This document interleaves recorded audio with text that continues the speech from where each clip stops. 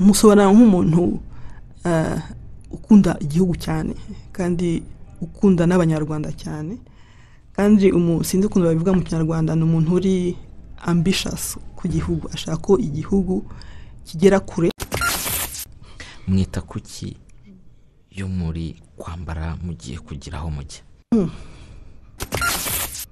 iyo mukibyuka mu gitondo ni iki kintu cya mbere mukora mukibyuka wenda muri expecting ko mbabwira ko nsenga mu gitondo ariko je mu mwanya w'umutumirwa w'umunsi nk'uko ubyumvise. Njye nitwa epa ndungutse uyu munsi umutumirwa wacu ni dr. Karusisi diane akaba ari umuyobozi mukuru wa beka. Tubahaye ikaze mu kiganiro cyacu. Murakoze cyane. Mm. mu gutangira ndagira ngo byo burambuye mu by'ukuri uh, dr. Karusisi diane ni muntu ki Eh, nitwa diane karusisi nk'uko mubivuze nkaba ndi umuyobozi mukuru wa banki ya kigali. Na- navutse muri mirongo irindwi na gatanu navukiye muri congo kubera ibyo tuzi twese by'amateka y'u rwanda. Eh, ni ho nakuriye hanyuma mpava njya kwiga mu busuwisi ni ho nigiye amashuri makuru. Eh, hanyuma ni ho nanakoreye phd nkakora imyaka mike mbere yuko ntaha mu rwanda muri bibiri n'icyenda. Mukivuka birumvikana mwatangiye kwiga amashuri abanza mwayize he ayisumbuye mwayize he urugendo rwanyu mu mashuri? Amashuri abanza nayize muri congo cyane cyane muri eh, igoma ni umujyi wegeranye na- n'u rwanda wegeranye na gisenyi ni ho nigiye amashuri abanza n'ayisumbuye. Ariko byabaye ngombwa ko njya kurangiza amashuri ah, yisumbuye mu i burundi kubera naho ibintu by'amateka ibintu byabaga muri congo icyo gihe. Muri mirongo icyenda na nagiye kwiga i burundi ni ho narangishije amashuri yisumbuye. Icyo gihe mwize ibiki mu mashuri yisumbuye? Icyo gihe abantu bigaga lettre cyangwa scientifique igihe nize scientifique. Mpa- ndangiriza amashuri yis- yisumbuye i, burundi muri college saint albert ni ishuri ry'impunzi ry'abanyarwanda ryabaga i bujumbura. Nyuma naje kwerekeza mu busuwisi uh, muri kaminuza yitwa université de fribourg Uh, ni ho nize ibintu bijyanye na ekonomi hanyuma nkora na masters mu bintu bijyanye na econometrics. Muri make ni, imibare i- yo muri ekonomi irimo na statistics. Mm. Ndangije masters nabonye amahirwe yo kubona akazi muri iyo university nigagamo mbona akazi ko kuba umu uh, assistant professor uh, nigisha statistics uh, hanyuma nkora na phd yanjye mu myaka itanu uh, maze kurangiza uh, masters yanjye Uh, njye wenda ndabibona ko mwarushinze mwarushinze ryari uh, yabahaye umugisha w'abana mufite abana bangahe naje gutaha mu rwanda rero muri bibiri n'icyenda eh, ngira imana na- ndarushinga by- byari muri bibiri na, cumi n'umwe. Hanyuma ubu dufite abana batatu eh, umuhungu umwe n'abakobwa babiri ni umugisha w'imana twabonye. Nk'uko wabivuze wavukiye muri congo uza ariko gukomeza ukujya i burayi ari naho wakuriye wahize kaminuza. Nsoma zimwe mu nkuru zagiye zibandikwaho. None banditse ko umuryango wakohereje ku nshuti z'ababyeyi bawe mu busuwisi. Uh, byagenze bite kugira ngo bakohereze eh, mu busuwisi ku bantu b'inshuti zabo? Mu by'ukuri nta nubwo ari inshuti ni umuryango kuko uh, nari mfite uh, uvukana na papa wanjye wa- wabaga wari ma- wari umaze imyaka myinshi cyane aba mu busuwisi. Nk'uko tubizi hari abanyarwanda bagiye bakwira hose ku isi bakagenda bafasha imiryango yasigaye muri afurika. Nuko byagenze nza gusanga uwo muryango nshobora kwiga hanyuma nshobora no kugera ibyo nigezaho ko na- nabonye akazi muri- universite aho nigaga. Hanyuma ndangije mbona n'amahirwe yo kujya gukora muri banki yo muri Suisse yitwa Credit, Suisse. Mm. mu myaka yanyu mukiri bato mukiba muri congo uh, ubuzima bwari bumeze bute mu muryango? Bwari ubuzima bumeze bute bwifashe bute? Ugerageje kubudusangiza mu byo mwibuka? Mu by'ukuri na- nagize amahirwe ni- n'imana yo kuba mu muryango ufite papa na mama umuryango urangwa n'urukundo uh, kandi umuryango wifashije ku buryo nashoboye kwiga amashuri mu makondisiyo meza uh, wenda ni amahirwe na- nabonye uh, kandi ni byo byatumye na- nanjye ngira ikilibu yo kwiga neza nkarangiza ni amahirwe nabonye ntabwo ari ibintu abantu bose babona cyane cyane muri icyo gihe muri congo ku banyarwanda ntabwo byari ibintu bi- bisanzwe ko hari abantu tuzi mu miryango inshuti babaga mu ma- mu makampi y'impunzi. Nagize imana mba mu mu- mu muryango ufite icyo ishoboye uh, tudakenye cyane bisanzwe ariko nta- ntabwo twari abakire nanone ariko twagize imana tugira umuryango n'abantu uh, twegeranye bari bafite urukundo uh, ku buryo nshobora kuvuga ko nagize edukasiyo nziza. Mm. muri ubwo buzima bwari bwiza butari bubi diane yari umwana umeze ute? Mm, nari umwana uh, ukunda ishuri cyane.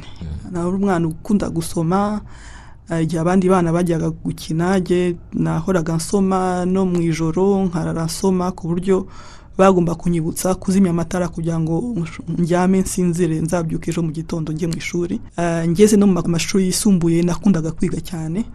Nta- nubwo ari ubuhanga bu- bu- ni ugukunda kwiga no gukunda amashuri byatumye mb- mba umuhanga kuko nabikundaga.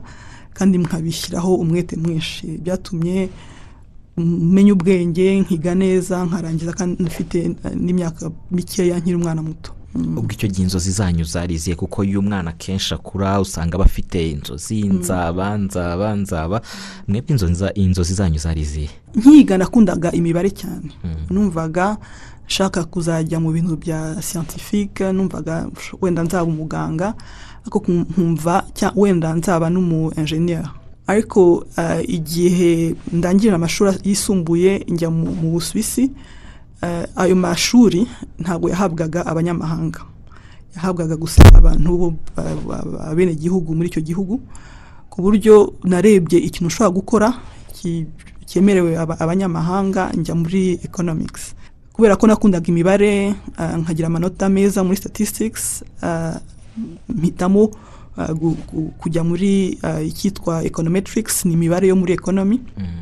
Ah, ko nabonaga mbikunda nakundaga imibare ariko nanone na- nabonaga ko ari byo wenda byampa amahirwe yo kuzabona akazi kuko ari ikintu aba- abanyeshuri benshi bata- batajyagamo batakundaga. Nicyo gituma nagiye muri iyo iyo sector econometrics ngira n'amahirwe kuko twari abanyeshuri bake cyane mbona akazi ko kuba uh, assistant. Ntaranarangiza amashuri ntangira kwigisha statistics mu, myaka ya mbere yo muri university. Hanyuma uh, um, ndangije gukora kugraduatinga bampa akazi ko kuba assistant professor uh, muri iyo university nigagamo. Birumvikana ko ushobora kuba ari umuhanga cyane? Nta- ntabwo ari ubuhanga ni ugukunda ibyo umuntu akora kubishyiraho umwete ntabwo ni- ntabwo nibaza ko ari impano yo kuba umuntu azi ubwenge ariko ni ugukunda ibyo umuntu akora.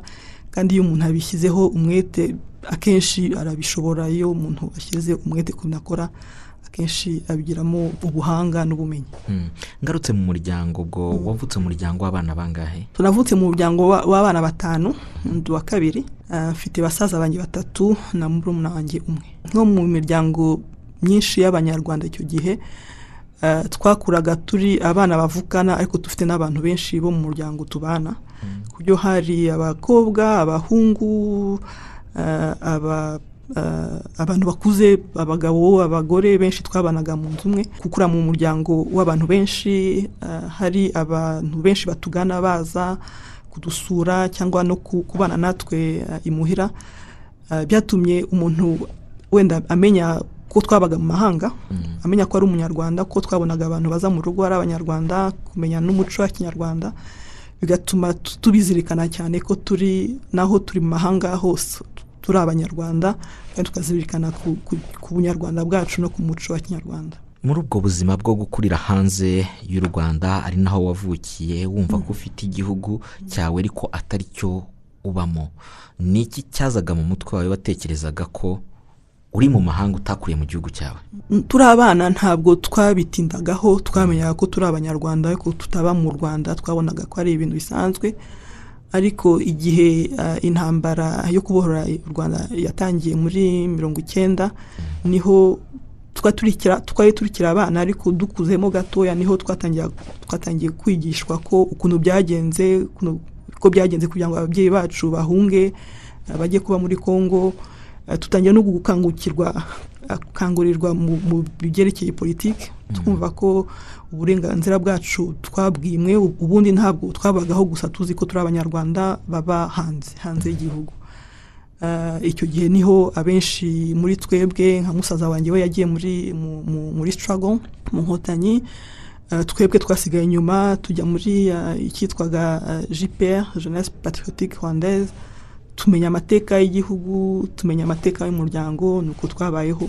Hanyuma jenoside iraba tubibona twese tubibona twari muri congo ariko umuntu abibona abantu benshi barahunga baza muri congo ku buryo ni amateka y'u rwanda twumva ko twabayemo tuzi neza. Bizatuma tumenya ukuntu tubungabunga ubumwe dufite ubu ngubu tubungabunga amahoro dufite kuko iyo bibaye nabi bishobora kuba kumera nabi cyane nk'uko byabaye mu rwanda. Mu kwezi kwa munani mu mwaka w'ibihumbi bibiri n'icyenda ni bwo waje kuza mu rwanda waje uvuye mu busuwisi aho wari ufite akazi ntabwo ko kari na keza ndetse n'igihugu unafitiye ubwenegihugu bitandukanye na bamwe mu banyafurika bahitamo gukomeza kwibera i burayi bagize amahirwe yo kuhaba bakahabona akazi cyangwa se muri amerika. Wowe ni iki cyatumye ufata icyemezo cyo guhaguruka? Ugava muri ako kazi ukava mu gihugu cy'i burayi wari ufitiye ubwenegihugu ukagaruka mu rwanda. Bwari ubwa mbere nayinje mu rwanda kuko n'igihe cyose nabaye hanze nazaga mu rwanda gusura ababyeyi n'abavandimwe ko bose baba hano mu rwanda. Nta hantu nazaga nkabona ibihaba nkabona ukuntu igihugu cyiyubaka kandi aho aho nari hose kuva turi abana muri congo nanaba muri i burayi ikintu cy'ubunyarwanda cyangumyemo ku buryo ahantu hose nari umunyarwanda nkamenya ko ndi umunyarwanda nkaganira nkabana n'abantu b'abanyarwanda baba aho ngaho tukareba n'uko twagira contribution ku gihugu cyacu. Rero uko byagenze ni uko abantu benshi b'abanyarwanda ntabwo nibaza ko atari ryo jyenyine babonaga ko u rwanda ruri mu nzira nziza tukumva ko natwe twatanga contribution nk'abantu b'abajene. Bafite wenda bagize amahirwe yo kwiga no kugira ubumenyi. Nicyo gihe natashye mu rwanda mbona akazi muri mu kigo cya statisitike ariho nakoze imyaka itatu kuva muri bibiri na cyenda kugeza bibiri na cumi na kabiri. Kandi icyo gihe no gukora muri icyo kigo cyatumye menya u rwanda neza kuko n'ubundi narahazaga nk'umushyitsi ntabwo nahabaye. Ariko gukora muri icyo kigo murabizi ko icyo kigo gikora ibyo bita ankete n'icyo gihe twakoze resansement sensasi byatumye umuntu ajya mu turere twose two mu rwanda mu mirenge myinshi dukora ibyo bikorwa. Bituma menya u rwanda neza kuko n'ubundi umuntu aba ari umunyarwanda mu mutima ariko atazi igihugu cye neza so gukora aho ngaho byatumye menya igihugu nkajya ahantu hose nkaganira n'abanyarwanda dusangiye igihugu.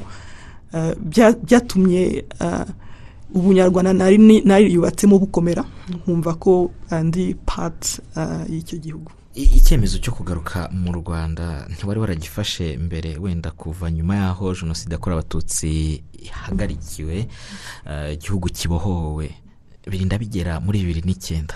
Nari nkiri umwana narize amashuri kandi iyo umuntu agize amahirwe yo kwiga amashuri kujya mu mashuri yisumbuye ya univerisite meza nabonaga ari amahirwe.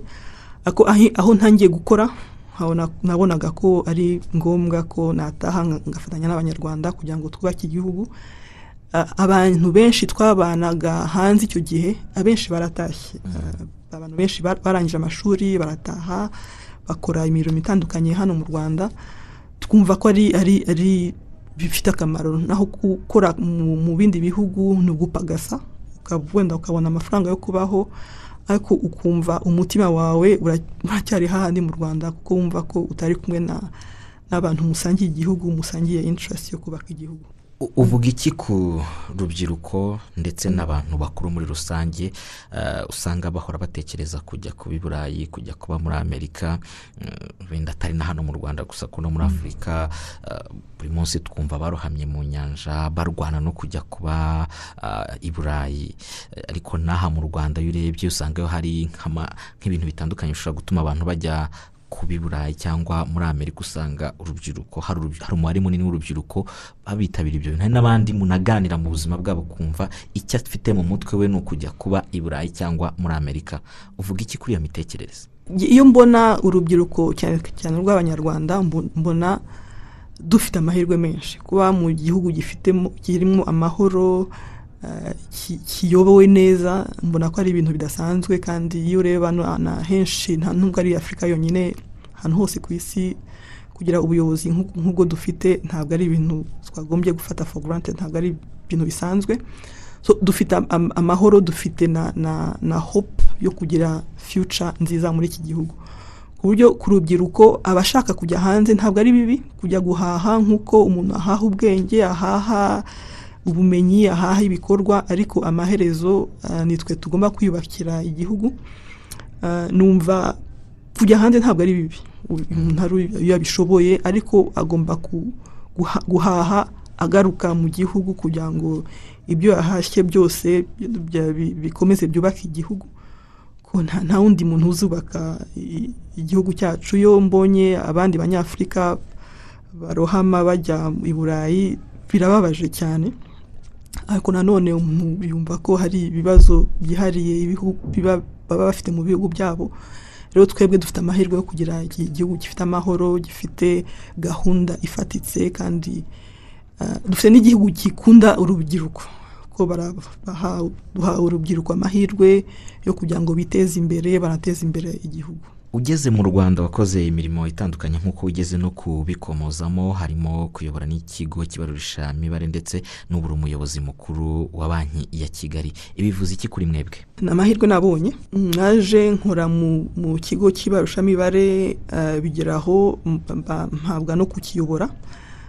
Twakoze akazi nibaza ko ari keza ntabwo ari igihe jyenyine wagakoze ni abantu benshi. Twakoze akazi turi kumwe.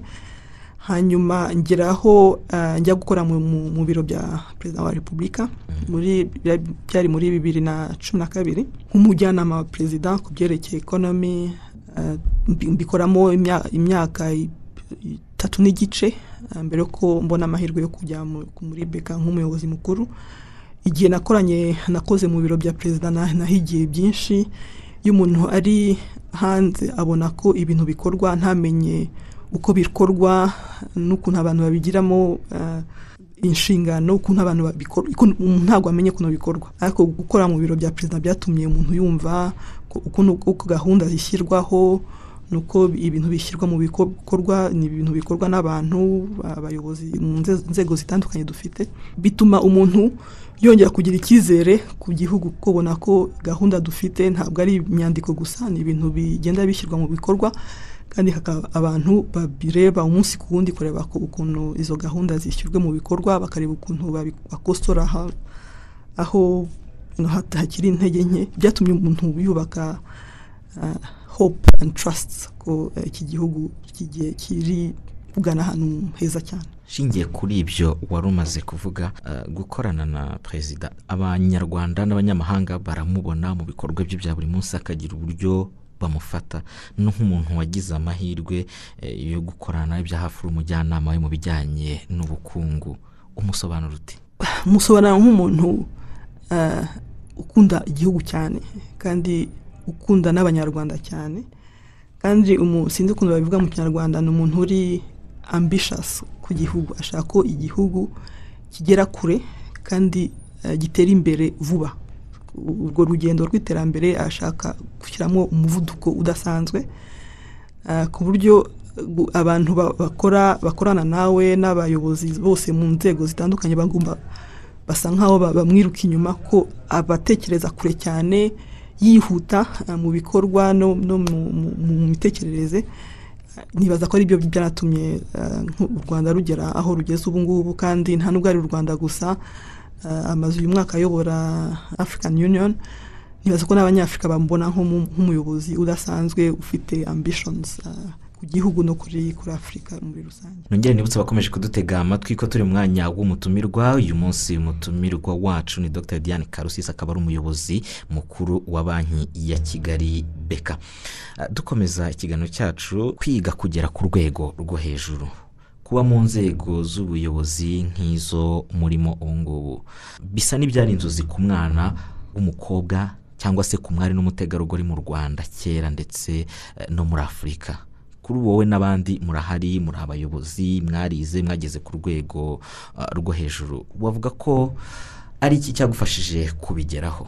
Ese birashoboka no ku wundi mwana w'umukobwa uri kutwumva ari bunaka Ni- nibaza ko bi- bishoboka ku mwana w'umukobwa wese ubishaka Eh, twagize amahirwe dufite igihugu ubu ngubu kwiga amashuri ni ibintu byoroshye nta nta muntu uta eh, ni uburenganzira bwa buri muntu wese.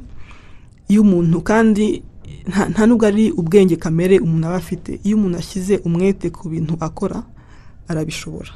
Eh, ubu ngubu iyo turebye nk'u rwanda aho rugeze mu guteza imbere abakobwa n'abategarugori umwana wese w'umukobwa aho ari ashatse kureba kure akavuga ngo ndashaka kumera nka ashobora kubona dufite aba aba members of parliament abantu ba- ba- baduhagarikiye muri uh, parliament mu nteko dufite abaminisitire dufite abantu abacuruzi bakomeye b'aba- b'abadamu b'abakobwa.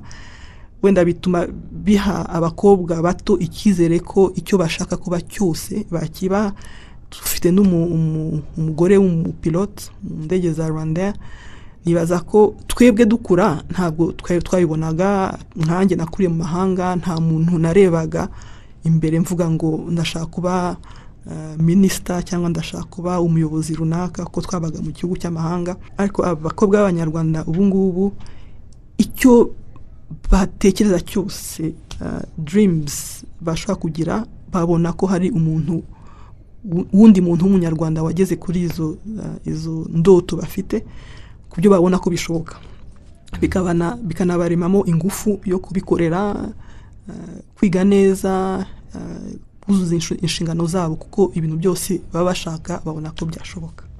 Kuba mu nzego nk'izi z'ubuyobozi hari imbogamizi wigeze uhura na zo zihariye kubera ko n'umugore Mu- mu by'ukuri wenda abantu batubanjirije wenda bagize izo mbogamizi ariko ah, ko natangiriye muri leta abantu bose bafatwa kimwe. Iyo uri umuyobozi w'umugore cyangwa umugabo twese dufatwa kimwe. Icyo kiba gitegerejwe n'ukuntu ko umuntu yuzuza inshingano ze.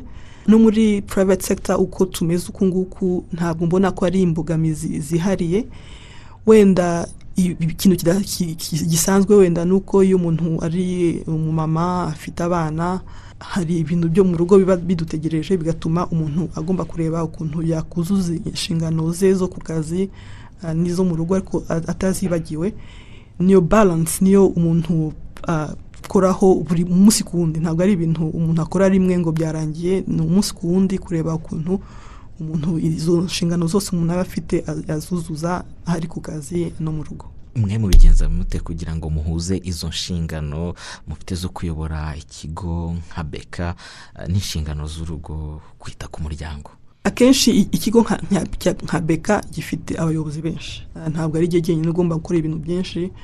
Ah, byose hari abantu abandi bayobozi bashinzwe ibintu ku buryo ngerageza gusaranganya akazi. Nk'uko turi abayobozi nkabwira umuntu wese wowe urakora ibi niduhura uza- tuzavugana icyo wagezeho.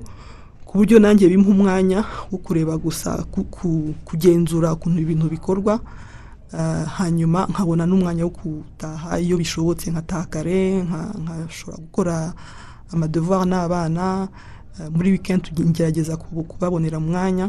Ariko akenshi mbona ko atari gusa umwanya ukuntu ungana umuntu aba amaranye n'abana cyangwa n'uwo twashakanye. Ariko ni quality. Iyo dufite umwanya umwanya mu- muke ufata telefone ukayishyira ku ruhande uka- ukareba ukuntu uwo mwanya mwawu- mwawugira nk'umuryango ntimurebe televiziyo wenda cyangwa mutangire murebe telefone. Nibyo umuntu agerageza ku- ku- kureba ukuntu eh, twagira quality time. Kuko quantity akenshi ntabwo biba bi- bishoboka. Ni, balance umuntu agomba gushakisha umunsi ku wundi. Mm.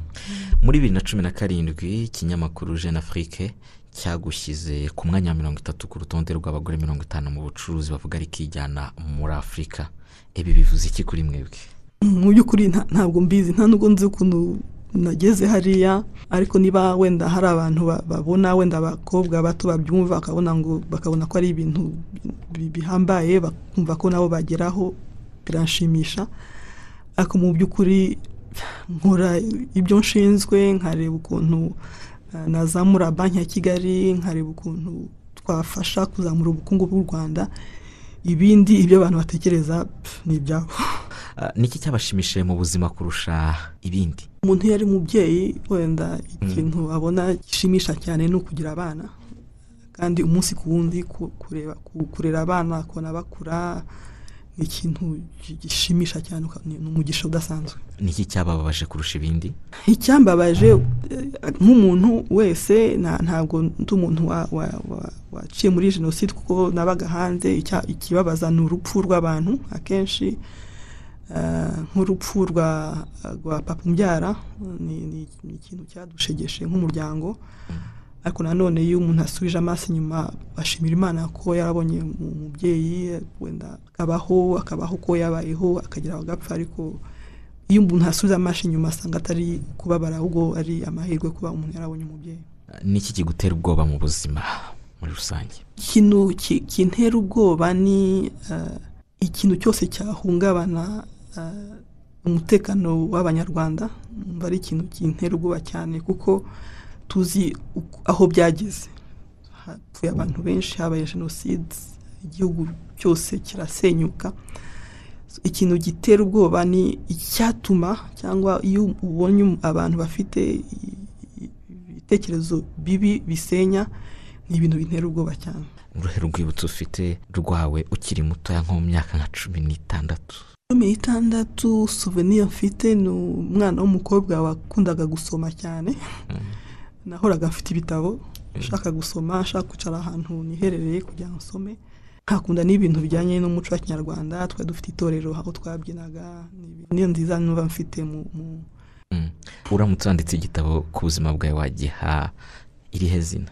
It's interesting. ntabwo ndabitekereza ntabwo ndi umuntu ukunda kwandika cyane ahubwo nkunda gusoma. Ariko wenda nzabitekereza wenda nzababwira.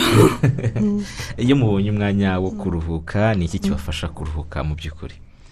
Iyo mbonye umwana yo kuruhuka ubu ngubu kubera ko mfite abana bakiri bato ni ukukinana nabo kwicarana nabo tukaganira tugafata ibitabo tugasoma hamwe. Ni ibintu bakunda cyane iyo mfashe igitabo nkabasomera ni ibintu bakunda cyane kandi birananduhura nanjye mu mutwe. Mm. ni ikihe gitabo uri gusoma muri iyi minsi? Muri iyi minsi ndasoma igitabo cyitwa beyond performance cyerekana ko hari companies zishobora kugira performance mu buryo bwa bwa bwa profit uh, bw'inyungu ariko ko umuntu agomba no gukora kuri uh, ibindi bintu bitari profit gusa akareba n'abantu ukuntu bakora ukuntu bateye uh, ukareba no ku bintu bya innovation ku buryo iyo profit ukora umwaka umwe uzaba sustained over time. So ni igitabo kiri very interesting. Mwita kuki yo muri kwambara mugiye kugira aho mujya? Ngo nita kuri jyenyine ikintu ntashobora kwibagirwa ni indore lunette zanjye kuko iyo ntazifite ntabwo mbona. Eh, hanyuma ikindi ni telefone nawe ngomba kugendana ko iyo ntayifite numva hari ikintu mbuze iyo mukibyuka mu gitondo ni iki kintu cya mbere mukora mukibyuka? Wenda egispektinga ko mbabwira ko nsenga mu gitondo ariko icyo iyo mbyutse mu gitondo Eh. mfata telefone nkareba amakuru hanyuma nkareba na, gahunda yanjye y'uwo munsi. Ko twebwe twe egispekitinga ko ugiye kutubwira ko usenga. Ntabwo ukunda gusenga? Ndabikora ariko akenshi mbikora mbere yo kujya kuryama gush- gushimira imana eh, ko umunsi wagenze neza ko abantu turi kumwe bose biriwe neza. Ariko mu gitondo mba ntekereza umunsi untegereje ku buryo mba nshaka kumenya amakuru ibiba ku isi mu rwanda no ku isi hanyuma nkareba na, gahunda nteye kugira ngo ni prepare mu mutwe ibintegereje uwo munsi. Hari itorero mubereye umuyoboke? Ndi mu katolike. Dusoza. Nahe mahame mugenderaho mu buzima bwanyu? Principe ngenderaho ni ni um, kuba umunyakuri uh, kandi kuba umuntu ari ari we at- atari uwundi ata- atari uwundi muntu adashaka gushimisha abandi akora ibintu yumva bimurimo ashaka akunda kandi kuba umunyakuri. Niyo principe ngenderaho ni byo bimfasha kugeza ubu ngubu. Turabashimiye ku mwanya mwaduhaye ariko dusoza hari ubutumwa bukuri ku mutima ushobora kugenera urubyiruko rw'abanyarwanda by'umwihariko abana b'abakobwa. Abana b'abakobwa nababwira ko bafite amahirwe abana b'abakobwa benshi b'ahandi ku isi badafite ko bafite igihugu kibitayeho kandi igihugu kireba kure ah, kandi igihugu gishaka ko nabo bagira contribution kugira ngo ah, dukomeze kucyubaka. So icyo nababwira ni uko nta kintu bagomba gutinya. Ibintu byose bashobora gukora babigeraho babishyizeho umwe umwete bakiga neza bakaba mu kuri. Nibyo bizatuma bagera aho bashaka hose. Murakoze cyane ku mwanya namwe arakoze cyane umutumirwa wacu w'umunsi nk'uko mwabyumvise twaganiraga na dr. Diane karusisi akaba ari umuyobozi wa banki ya kigali ni we wari umutumirwa wacu wa none. Nizere ko hari byinshi mubashije gukura mu kiganiro tugiranye nawe. Ngenda ndetse